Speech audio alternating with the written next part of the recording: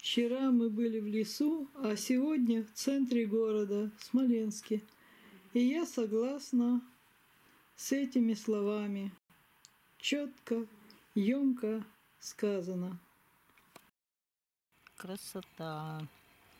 Где-то собаки лаяли здесь не очень далеко. Ну, кажется, что далеко, конечно. Выстрелы какие-то. Кому здесь что-то надо, непонятно. У нас красиво, тишина. В лесу стреляют, а на Украине идет война. В Донбассе. Это наша земля.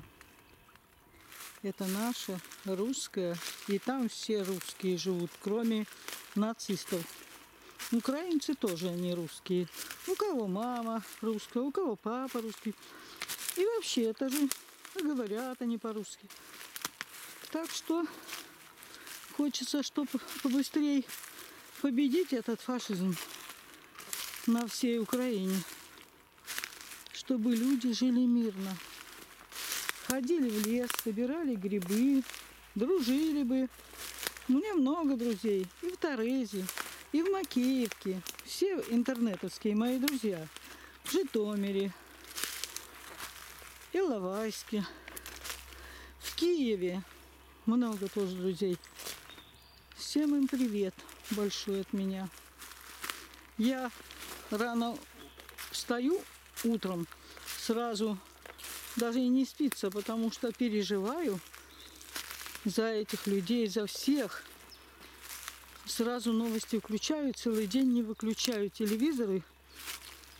Слушаю внимательно, чтобы Ой, переживаю, сочувствую.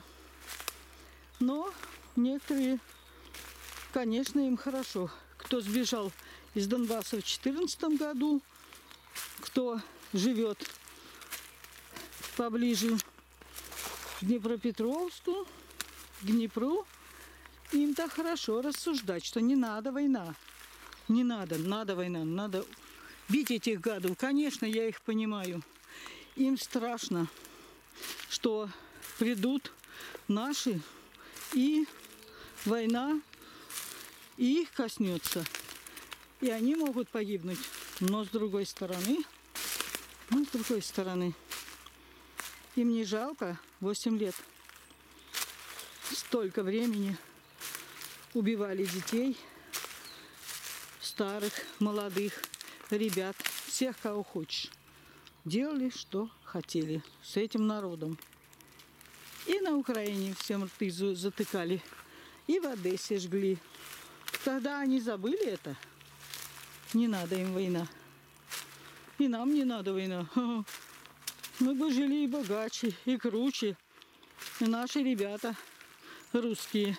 И русские все. Это и чеченцы русские, и все другие русские дагестанцы, ну, кто у нас? Все народности, белорусы. Все это русские люди.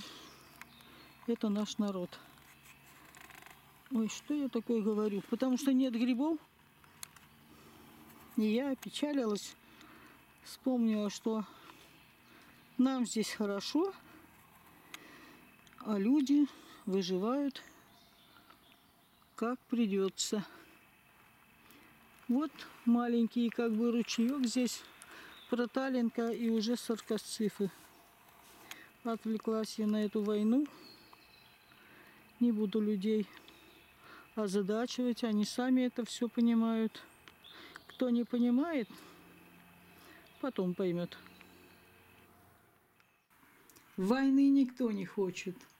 Все хотят мира. Но мир невозможен без этой спецоперации. Мы поддерживаем Путина. И мы победим.